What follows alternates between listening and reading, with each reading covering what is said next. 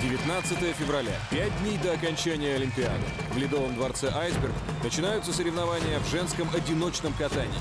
После блестящего выступления Юлии Липницкой в командном турнире вся страна с замиранием ждет ее выхода. В личных соревнованиях стать первой не удается. Юлечка!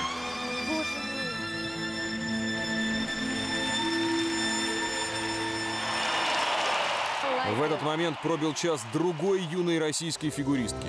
Пока все внимание было приковано к Липницкой, 17-летняя Аделина Сотникова оставалась в тени.